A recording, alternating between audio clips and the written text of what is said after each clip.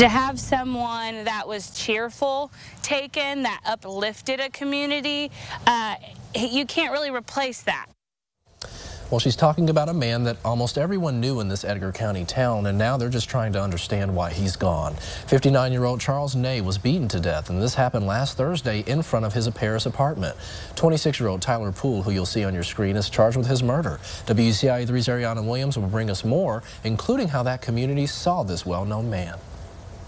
Katie Craig of Paris, Illinois says Charles C.K. Nay was a man known for his kindness, and to find out he died so violently is a hard pill to swallow. You almost wonder, you know, why um, and, and what could have provoked something of that stature.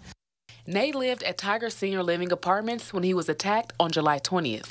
The next day, 26 year old Tyler Poole was arrested. Part of me was proud um, just for the simple fact of the small town, you know, police took action, got the appropriate people, made the arrest as quick as possible. Nay was a speaker at Craig's grandfather's funeral. She says a crime like this almost never happens in Paris, and especially to people like Nay. He knew no stranger.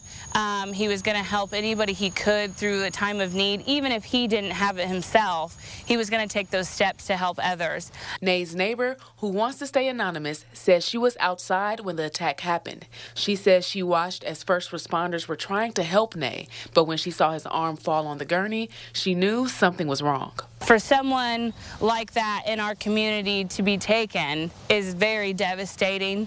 Nay's neighbors say what the community will miss most is his ministry. Craig says it'll be his smile. Both say it's heartbreaking because Nay couldn't have seen it coming. We just need to make sure we look forward and we come together, we support one another, and try to, unfortunately, you know, move past the devastation and celebrate him.